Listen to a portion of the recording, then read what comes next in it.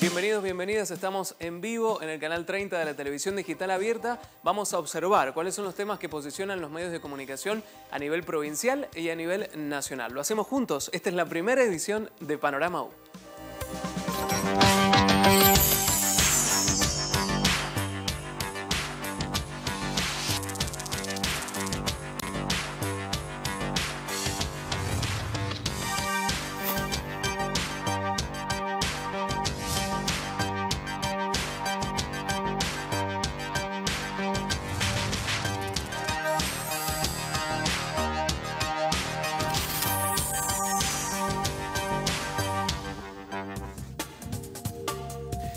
Observamos como habitualmente hacemos los títulos más importantes que tienen los matutinos en nuestro país. Comenzamos por el diario Clarín, allí lo estamos viendo. La oposición reclama boleta única para las elecciones de octubre. Esto tiene que ver como desencadenante las elecciones en Tucumán y todo lo que ya les hemos contado en otros programas. El diario La Nación dice el reclamo para cambiar la ley electoral llegó al Congreso y a la Corte y finalmente página 12 dice un boleto electrónico también vinculado con este tema.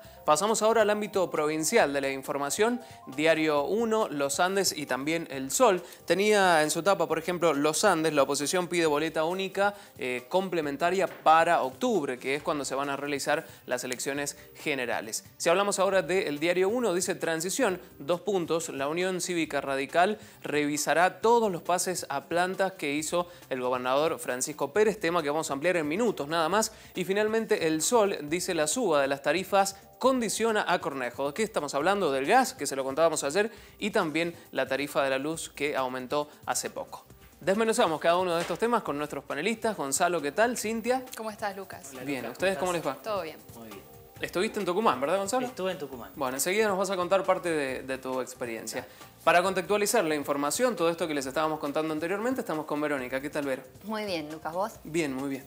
Comenzamos por los temas de etapa. Sí, en este caso, esta mañana ha habido una coincidencia entre los tres grandes matutinos nacionales. Como decías, Lucas, Clarín, La Nación y Página 12 han tomado el tema de que la oposición pide cambios en el sistema electoral y reclama la boleta única. En el caso de Clarín, lo tiene como titular en su volanta, aclara eh, según su visión, que es otro paso luego de la aparición conjunta de los candidatos reclama la boleta única para las elecciones en octubre, en su bajada dice que esto ocurre después de las denuncias de fraude en Tucumán y que el gobierno ya dijo que es imposible.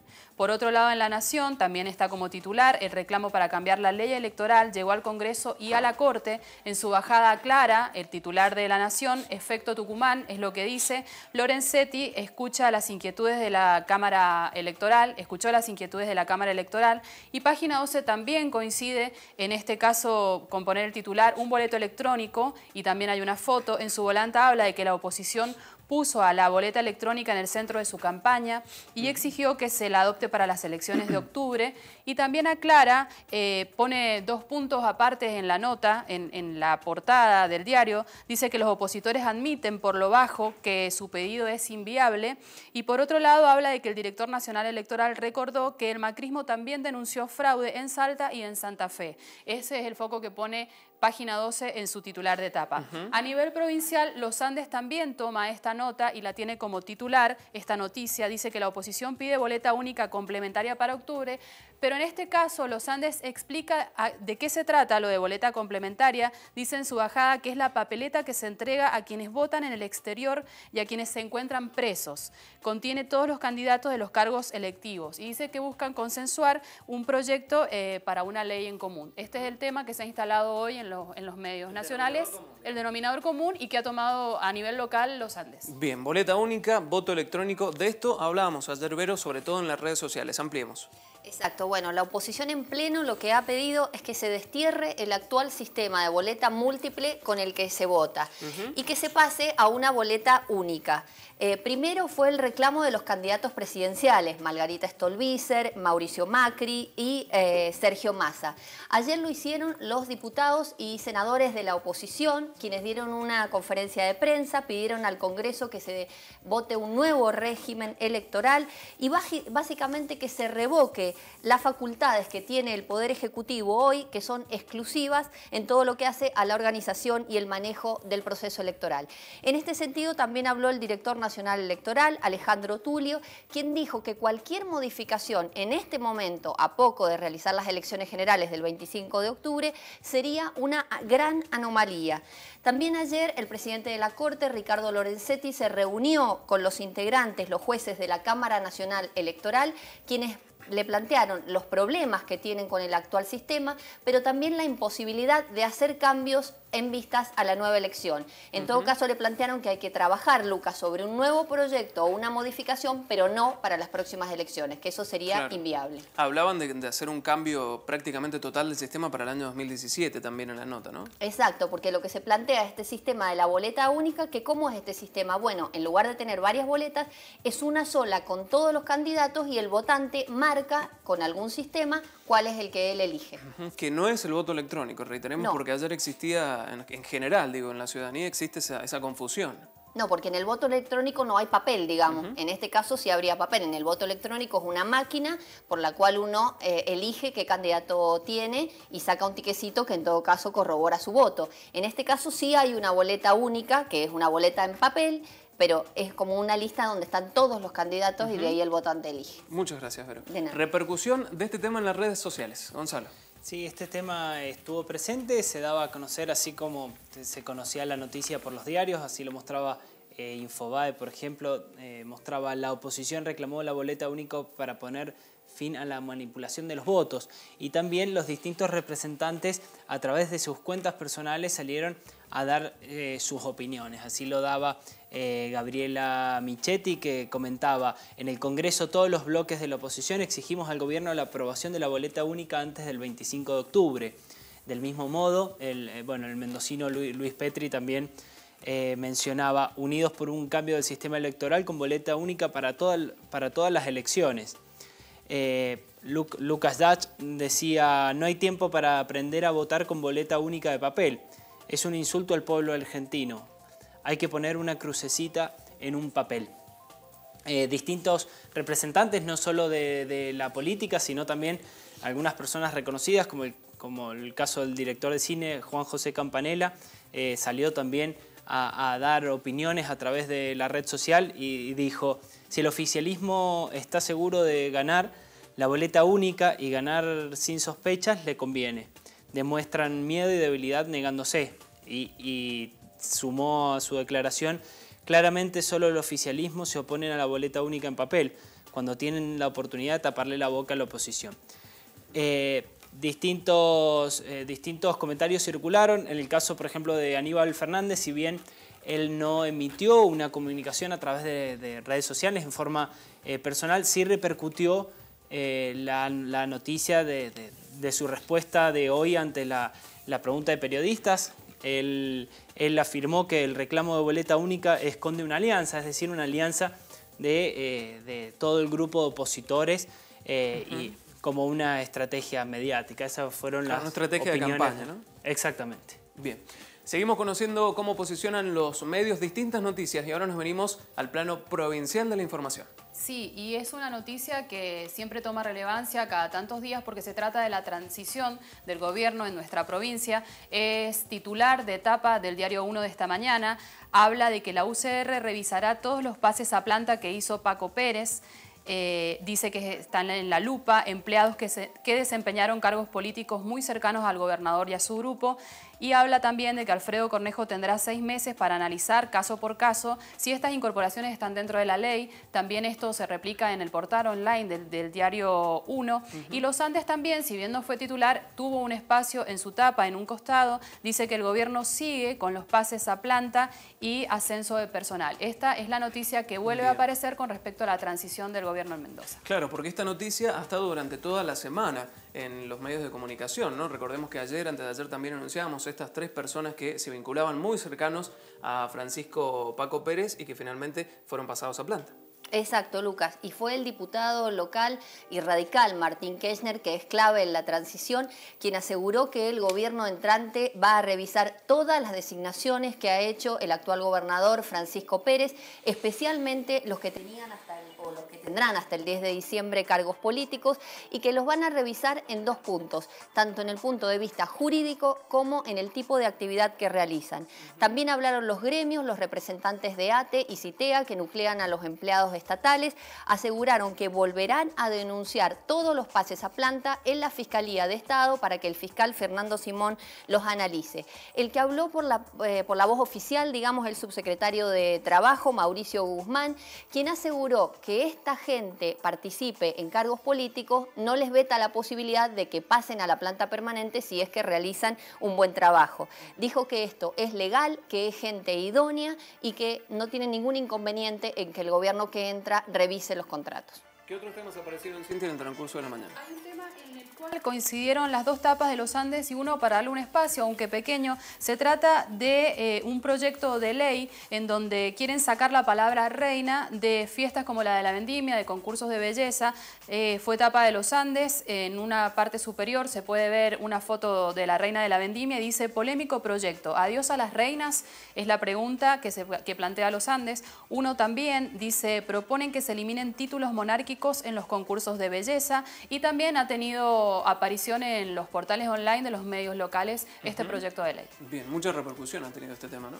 Exacto, mucha repercusión este proyecto de la, eh, de la legisladora nacional del Frente para la Victoria, Gloria Videgain, que avanza en el Congreso porque logró un dictamen favorable en la Comisión de Cultura del Congreso de la Nación.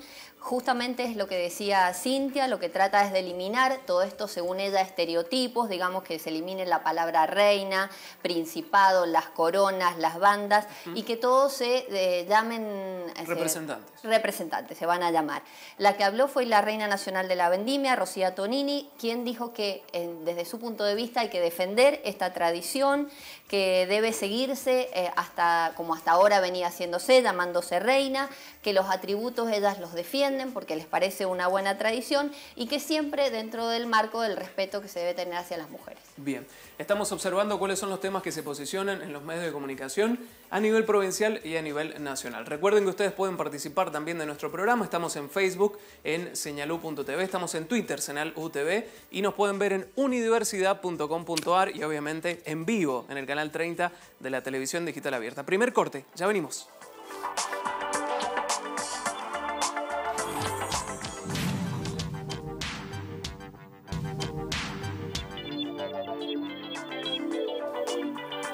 Segundo bloque de Panorama U, seguimos observando lo que posicionan los medios de comunicación. Cintia. Como lo veníamos diciendo, hace dos días habían pronosticado que hoy podía llegar a bajar y efectivamente es lo que está sucediendo. La primera noticia que aparece es que se suspenden las clases en Luján, San Rafael, Tupungato, San Carlos, Tunuyán y Malargüe por el sonda. Esto aparece en todos los medios online de media mañana, de primera mañana en realidad, y luego la, la información se actualiza porque suspenden las clases en toda la provincia. Y ahora eh, ya están suspendidas y estamos con el fenómeno del sonda en pleno. Uno dice que se espera que este fenómeno afecte a toda la provincia y que la intensidad de las ráfagas sea fuerte. MDZ habla de más suspensiones por el viento sonda, actualizando esta información que ya abarca a toda la provincia. Los Andes dice que lo comunica a la DGE en base al informe de organismos científicos y que en las escuelas de la Uncuyo tampoco habrá clases. Bien, podría llegar a 30 grados la máxima hoy día.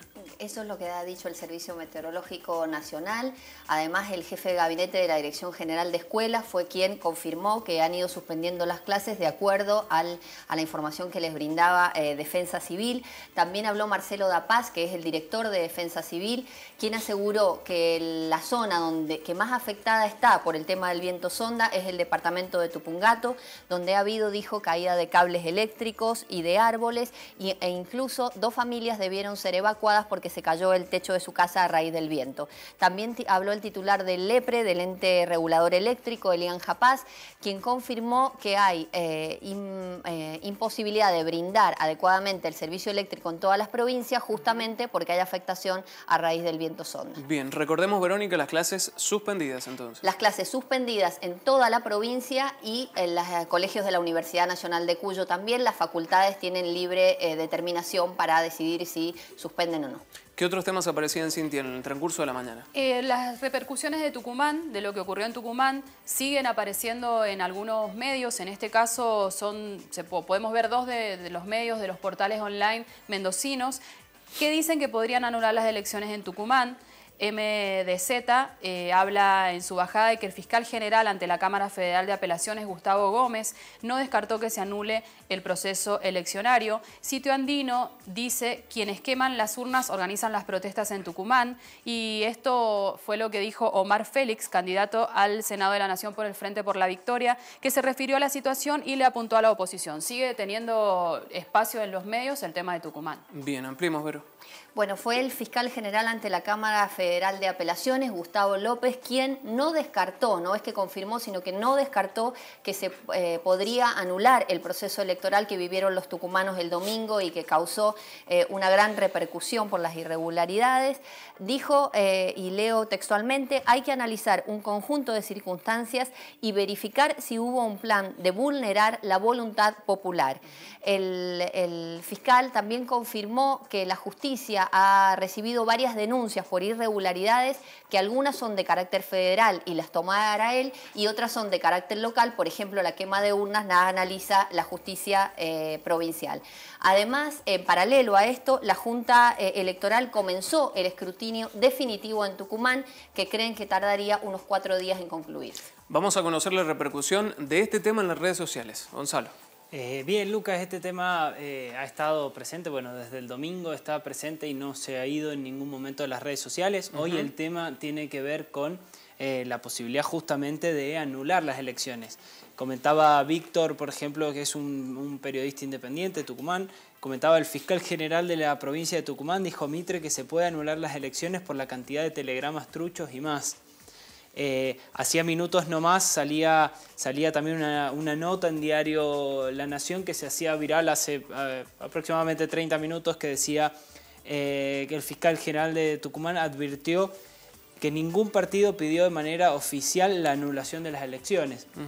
esta, nota rápidamente generó una, gran repercusión, así lo decía Marcelo, agregándole el hashtag de no lo puedo creer y bueno, y distintos hashtags que se agregaban. Eh, León comentaba, ah, hay que anular las elecciones en Tucumán. Si no lo hacen el gobierno de la provincia, si no, perdón, si no lo hacen al gobierno de la provincia, le importa tanto la democracia como a Máximo Estudiar, haciendo referencia al hijo de la presidente.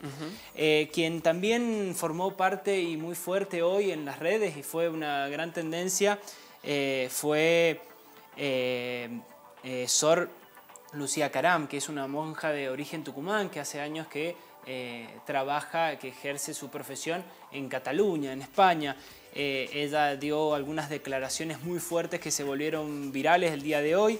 Eh, es un insulto comprar votos con comida, dijo en una nota, y al, ir a Tucumán dijo, regresar a Tucumán y ver cómo, está la, cómo la democracia está secuestrada, me hace palpar con impotencia lo frágil que es la amada y añorada paz social.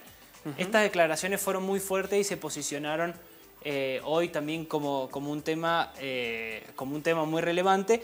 Y bueno, y a, raíz de eso también lo, que se sigue comentando del tema es que esta tarde a las 19 horas se vuelve a marchar, ahí, lo, ahí se veía eh, también dentro de las comunicaciones, porque hasta que no haya una respuesta eh, la comunicación es volver a marchar. Bien, Gonzalo, lo decíamos anteriormente, estuviste en Tucumán eh, en esta semana donde bueno, han ocurrido distintos hechos eh, trágicos y lamentables, ¿no? ¿Cómo viviste, cómo era el clima social en Tucumán en esta semana?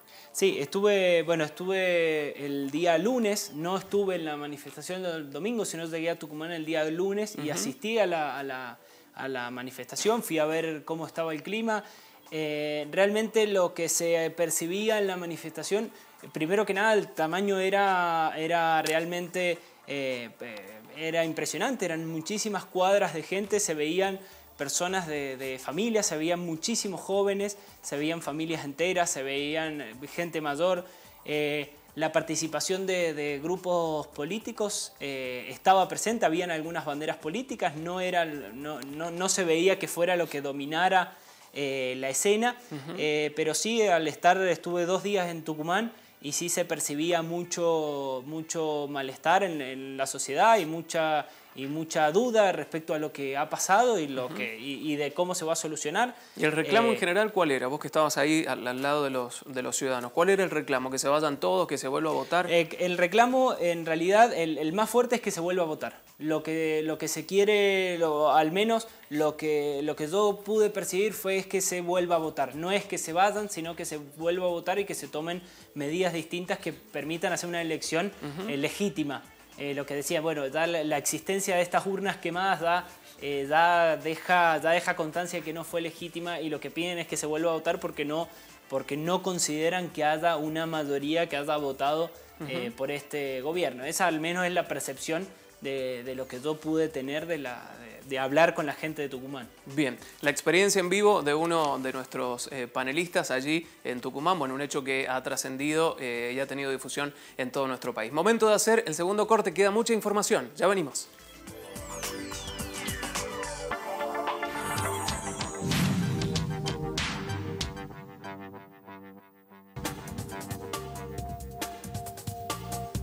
Último bloque de Panorama U, primera edición. Seguimos conociendo los temas que se posicionan en los medios de comunicación. Cintia. El caso Nisman esta vez vuelve a tomar algún espacio en los matutinos.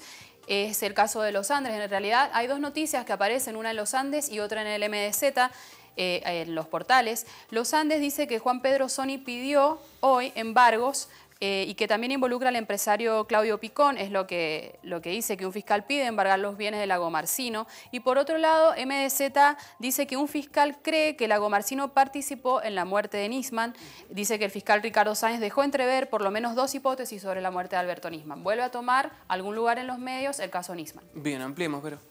Bueno, tal cual decía Cindia, fue el fiscal federal Juan Pedro Soni quien pidió un embargo de hasta cubrir 80 millones de pesos por presunto lavado de dinero a la madre del, eh, fallecido fiscal Alberto Nisman, eh, Sara Garfunkel, a su hermana Sandra Nisman, al único imputado en la causa Diego Lagomarcino y al empresario Claudio Picón. Recordemos que esta causa que está investigando Sony la impulsó la Unidad Informática Financiera porque considera que hubo violación de las normas bancarias y lavado de dinero.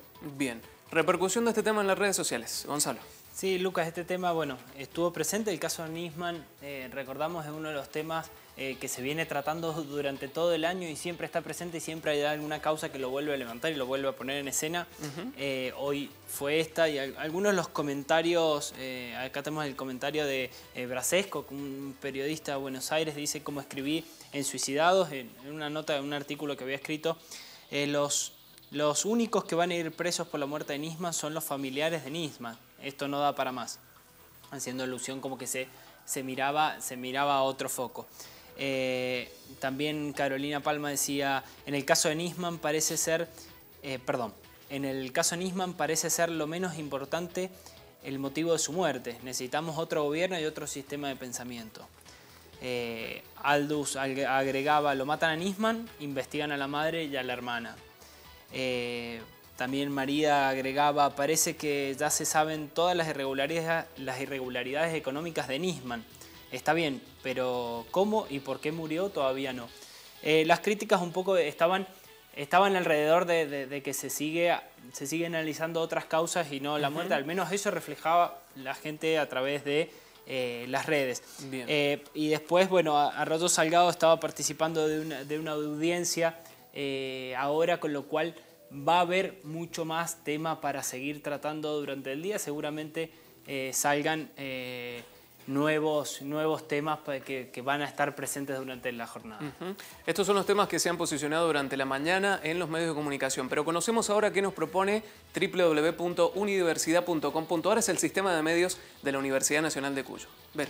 Bueno, es una nota en la que se cuenta un poco cuáles han sido los temas que se han hablado en un encuentro de innovación en medios que hay en Buenos Aires hasta el sábado, que se llama Media Party, en la que participan periodistas, diseñadores, innovadores en temas y básicamente lo que analizan es el aporte de las nuevas tecnologías al periodismo. Así que los que quieran ver los videos pueden consultar universidad.com.ar porque hay dos compañeros nuestros que están participando para que puedan escuchar las charlas en vivo. Genial.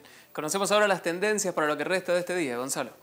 Bien, ah, bueno, además del, tema Nisman, como comentaba hace unos minutos, que va a seguir presente, también durante el resto de la jornada esperamos que eh, siga estando presente el tema de boleta única, se va a seguir eh, discutiendo y tratando eh, esta, este pedido que ha, hecho, que ha hecho el grupo de la oposición. el tema de Tucumán va a ser un tema también presente durante la jornada. también el tema de, sonda y, bueno, y cómo siga eh, cómo siga afectando distintas eh, zonas de Mendoza. Muchas gracias Gonzalo, gracias Cintia, gracias Verónica. Hasta aquí llegamos, pero como siempre les vamos a dejar los temas más importantes que ha tenido este día. Lo primero tiene que ver con el viento sonda y las clases suspendidas en toda la provincia de Mendoza. En segundo lugar, el pase a planta, que ha sido noticia durante toda la semana, tiene que ver con el Ejecutivo Provincial, el gobierno de Francisco Paco Pérez. En tercer lugar, Tucumán sigue siendo noticia por distintas situaciones que ya se las hemos contado y lo que nos propone unidiversidad.com.ar, la tecnología al servicio del periodismo. Estos son los temas más importantes que han quedado eh, de esta media jornada. Nos tomamos un minutito para darles una buena noticia, porque Cultura al Aire, el programa que conduce nuestra compañera Gisela Ferraro, que sale todos los jueves eh, en la tarde aquí en Señal U, sortió dos entradas para ver la obra de teatro Tus excesos y mi corazón atrapado en la noche. Una obra agradable eh, para disfrutar, bueno, con la familia, obviamente, este sábado a las 22. Y ya tenemos ganadores. La ganadora es Mónica Graciela Sosa de la entrada. Sortearon dos entradas. Ella es la ganadora. Obviamente eh, puede ir con un acompañante. Mónica Graciela Sosa es la ganadora de estas dos entradas para ir a ver la obra tus excesos y mi corazón atrapado en la noche. Este sábado a las 22 horas puede pasar a retirar la entrada por aquí, por los estudios de Señalú. Ahora sí los dejamos. Recuerden, a, las 21 la edición central de Panorama 1. Nosotros nos vamos a reencontrar el lunes a las 13. Que tengan un excelente fin de semana. Muchas gracias.